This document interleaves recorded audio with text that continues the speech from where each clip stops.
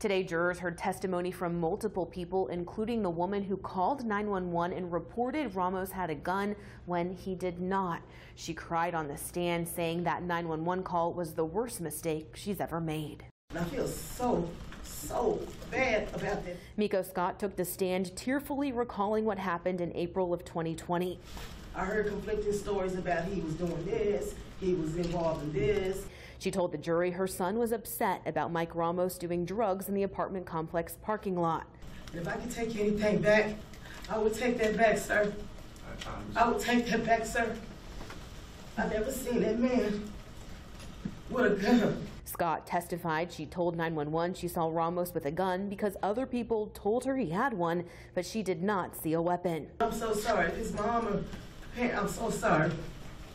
I didn't see him with no gun. Austin Police Sergeant Shelley Holstrom walked the jury through evidence from the scene. She testified a hatchet was found in the car Ramos was driving, but no guns were found anywhere nearby. Holstrom also testified police found presumably stolen checks and credit cards in the car Ramos was driving, plus drug paraphernalia, something defense attorneys zeroed in on. Can it cause people to, to act unpredictably? Yes. Can it increase aggression and uh, aggressiveness level? Yes. An expert in forensic visualization also took the stand, testifying his company used more than a dozen police and bystander videos to make a 3D reconstruction of the scene.